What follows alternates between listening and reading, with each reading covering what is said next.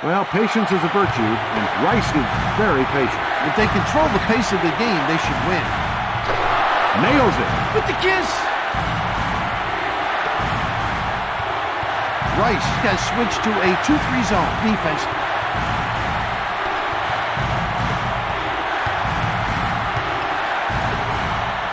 Rises for the good.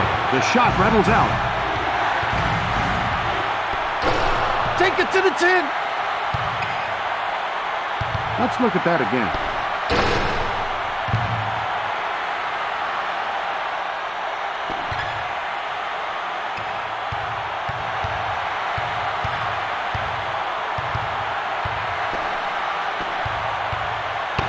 Elevates for the J.